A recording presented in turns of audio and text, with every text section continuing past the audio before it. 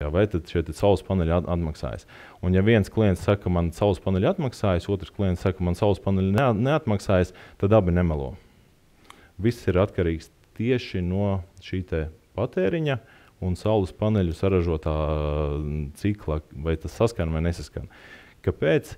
Tad atšķirās, cik kilovatstundas patērēja momentāni, Un jo es vairāk kilovatstundas patērēšu momentāni, jo ātrāk man šie saules paneļi atmaksāsies.